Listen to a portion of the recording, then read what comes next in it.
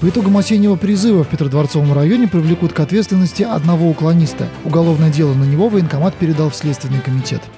Молодой человек многократно проигнорировал вызовы в военкомат для прохождения медицинского осмотра. Теперь ему грозит судимость и крупный штраф. В предыдущую призывную кампанию к такой ответственности привлекли двоих. В итоге им пришлось ответить перед судом и оплатить штраф 50 и 60 тысяч рублей. В целом же по итогам осеннего призыва 10 уклонистов привлекли к административной ответственности за неявку в призывной пункт. 72 человека отправлены на срочную службу, из них 10 имеют высшее образование. Кстати, теперь выпускники вузов получили право выбирать между службой по призыву и службой по контракту. Однако по контракту им придется служить два года, а не один, как рядовым срочникам.